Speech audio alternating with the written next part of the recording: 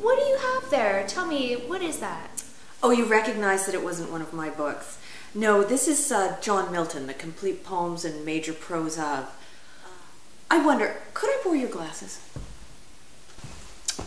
Right. So, I'm going to read you a, a, passage that has a, has a great deal of meaning to me. I, I read it, I come to this almost every day. To be or not to be.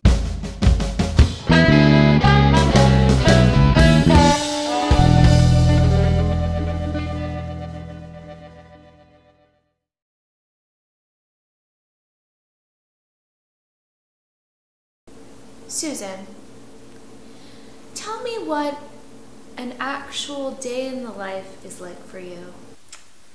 Oh, that is a great question. It's very hard. I don't think people understand how hard it is to be a writer. The work, the focus, the dedication.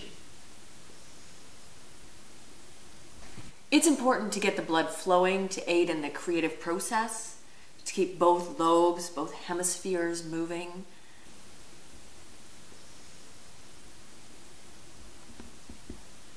Stephen King has said that he writes for eight hours a day. I think we can agree he is no John Milton. However, if he were to tweak his writing process, I feel that he could become a lot more productive, considerably more prolific. I would say that willpower is another crucial piece of that puzzle. You have to trust that even when you're feeling empty, when you don't have anything, that the muse will come back and, and there will be something for you to share with your readers, with the world, really. The key is to avoid distractions. And you also want to practice discipline. People have no idea how many distractions are available in the world. They're everywhere. Distractions are. And those of us who have a, a functional writing process what we do is we manage to avoid those distractions.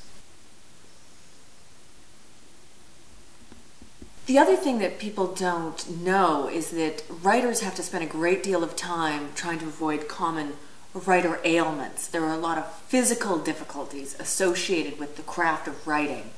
Carpal tunnel, frozen shoulder, these kinds of things. We need to stay motivated and stay healthy and stay in the process. It's just all about persistence. It's about avoiding distractions. No one understands really how tough it is to be a writer. I would say it's a 24 7 occupation.